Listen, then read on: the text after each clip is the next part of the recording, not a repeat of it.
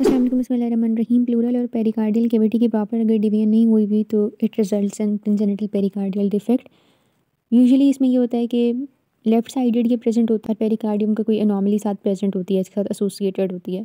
Pericardial cavity pleural cavity के साथ communicate कर रही होती है और कुछ केसेस के अंदर ये भी होता है कि with every heartbeat left atrium जो होती है हार्ट की वो हर्निएट कर रही होती है इनटू द प्लूरल कैविटी अच्छा कंजेंटल डायफ्रेगमेटिक हर्निया में उन्होंने मसला ये है कि एबडामन के कॉन्टेंट थारिक्स के अंदर जा रहे हैं, ठीक है?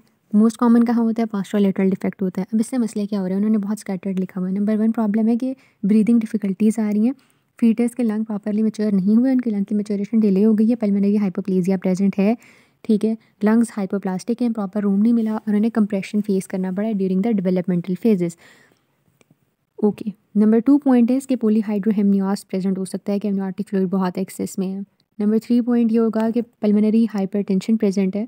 इस वजह से क्योंकि वेस्कुलर क्रॉस सेक्शनल एरिया कम हो गया है। ठीक है? और इसके अलावा हाइपॉक्सिया की वजह से पल्मोनरी वेजो कंस्ट्रक्शन भी ट्रिगर हो सकती है।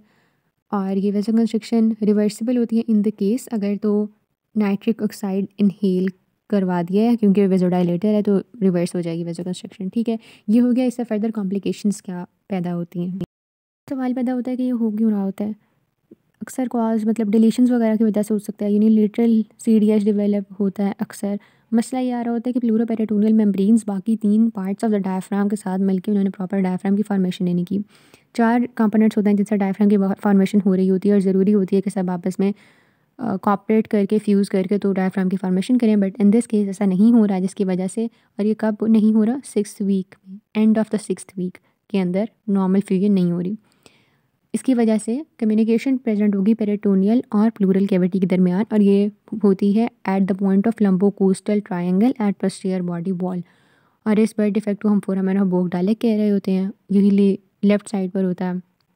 ये हो सकता है कि अगर pleuroperitoneal canals are still open even after the retraction of the physiological herniation of the intestine tenth week में तो उसकी वजह से जो अबडामल वसरा वगैरह होंगे, वो थारिक्स के अंदर पास कर जाएँगे, जिसकी वजह से थारिक्स की अपनी चीज़ें कॉम्प्रोमाइज़ हो जाएँगी। जैसे लंग्स या हार्ट वो इंटीरियरली पुश हो जाते हैं और इसकी जैसे लंग को कंप्रेशन फेस करना पड़ता है। डायग्नोसिस करना है तो अल्ट्रासाउंड या एमआरआई है इसके लिए। मॉर्टेलिटी इसके केस में इस वजह से नहीं हो रही होती कि डायफ्राम को मसला है एब्डामिल कॉन्टेंट्स को मसला है बल्कि लंग्स के मसले की वजह से हो रही होती है। क्या हाँ किस हद तक पल्मोनरी डेवलपमेंटल एबनॉर्मलिटीज़ प्रेजेंट होंगी डिपेंड करता है किस हद तक हर्निएशन हुई हुई है, जिस साइड पर हर्निएशन हुई हुई है उस साइड के लंग ज़्यादा इफ़ेक्ट होंगे। बर्थ पर ये होता है कि दरअसल बेबी इस काबिल नहीं होता कि वो अपनी रेस्पायरेशन को इनिशिएट कर सके। इंटरसेंस डायलेट कर जाती हैं हार्ट और लंग का फ़ंक्शन कॉम्प्रोमाइज़ हो जाता है। और अबडामिनल कॉन्टेंट्स जो होते हैं, अक्सर left side of the thorax पर जा रहे होते हैं तो हार्ट और मेडियास्टिनम जो होते हैं, वो राइट साइड पर डिस्प्लेस हुए होते हैं। इवेंट्रेशन ऑफ़ डायफ्राम में सीन ये होता है कि डायफ्राम का जो मस्कुलेचर है, वो डिफेक्टिव है उसने बलून सा बनाया हुआ थॉरिक्स की कैविटी में अगर आप eight point nine figure A देखें तो आपको पता लगे किस तरह उसने ऊपर थॉरिक्स की कैविटी में एक पहाड़ सा बनाया हुआ एक साइड पे, ठीक है? जिस साइड पर ये इस तरह से डिफेक्ट आ रहा है, उस साइड के एबडामिनल कॉन्टेंट्स को जगह मिलेगी, वो फॉरन से सुपीरियरली डिस्प्लेस कर जाएँगे। होता क्यों है? क्योंकि मस्कुलर टिशू उस साइड पर बॉडी वॉल का मस्कुलर टिशू प्लूरोपेरेटोनियल मेम्ब्रेन्स में एक्सटेंड नहीं किया in the development of diaphragm ठीक है? कंजेनिटल भी हो सकता है क्वाइड भी हो सकता है। इवेंट्रेशन इस इवेंट्रेशन को हम ट्रू डायफ्रेगमेटिक हर्निया नहीं कहते, क्योंकि इसके अंदर सिर्फ़ सुपीरियर डिस्प्लेसमेंट हो रही है अबडामिनल कॉन्टेंट्स की। हाँ लेकिन इसकी फर्दर कॉम्प्लिकेशन की वजह से कंजेनिटल डायफ्रेगमेटिक हर्निया डेवलप हो सकता है। अम्बिलिकल हर्निया मसला ये होता है कि फिजियोलॉजिकल हर्निएशन और रिट्रैक्शन के बाद दोबारा से अम्बलाइकस के थ्रू हर्निएशन हो रही होती है। ठीक है? डिफेक्ट जो होता है इसमें लीनिया एल्बा के अलॉन्ग होता है। और जो प्रोट्रूडिंग मैस होता है, उसे सबकटेनियस टिश्यू और स्किन ने कवर किया होता है और वो फिर कफिंग स्ट्रेनिंग वगैरह पर प्रोट्रूड आउट कर रहा होता है। लेकिन अगर हम गेस्ट्रोस्किसिस की बात करें तो उसमें डिफेक्ट लेटरल साइड पर होता है। जैसे यहाँ पर उन्होंने मेंशन किया हुआ है कि right side of the umbilical cord पर डिफेक्ट होता है। ठीक है? लीनियर डिफेक्ट होता है और इसके अंदर अम्बेलिकल कॉइड की कोई इन्वॉल्वमेंट नहीं होती। हर्निएटेड सब्सटेंस होता है।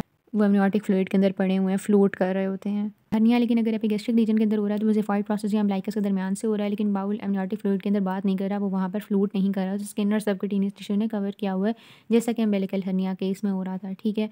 गेस्ट्रिक हरनिया मसला जो भी हो कॉज ये है कि लेटरल बॉडी फोल्ड्स फ्यूज़ नहीं किए इंटर एबडामिनल वॉल के साथ ड्यूरिंग द फोर्थ वीक अगर द फीटस के स्टमक का कुछ हिस्सा इसोफेजियल हाइटिस से रहा है तो उसे कहेंगे congenital hiatal hernia oesophageal hiatus किसे कहते हैं? कि वो सुराख डायफ्राम के अंदर जहाँ पर से सफ़ेद सर्विगस नाम गुजर रही है, ठीक है? इस तरह भी हो सकता है कि किसी बंदे में इसोफेजियल हाइटिस बर्थ के वक्त लार्ज था, पर हर्निया डेवलप नहीं हुआ तो वो फर्दर लेटर लाइफ के अंदर एक्वायर कर ले ये हाइटल हर्निया रेट्रोस्टर्नल एरिया के अंदर स्टर्नल पार्ट ऑफ़ डायफ्राम और कोस्टल पार्ट ऑफ़ डायफ्राम के दरमियान just adjacent to xiphoid process एक ओपनिंग होती है। उसे कहते हैं फोरामेन ऑफ़ मार्गैग्नी या स्टर्नोकोस्टल हाइटिस इधर से अगर हर्निएशन हो रही है तो उसे कहते हैं रेट्रोस्टर्नल हर्निया या पैरास्टर्नल हर्निया अनकॉमन होता है। इसमें हर्निएशन दोनों तरह से हो सकती है। टू वे ट्रैफ़िक है। इंटेस्टाइंस ऊपर जाके पेरिकार्डियल सैक के अंदर जा सकते जा सकते हैं और हार्ट का भी पार्ट नीचे डिसेंड करके पेरिटोनियल कैविटी में एपिगेस्ट्रिक रीजन के अंदर आ सकता है। डिफेक्ट्स जो होते हैं, ये वाले these are associated with the body wall defects of the umbilical region और इसकी कोई खास क्लिनिकल सिग्निफिकेंस नहीं होती।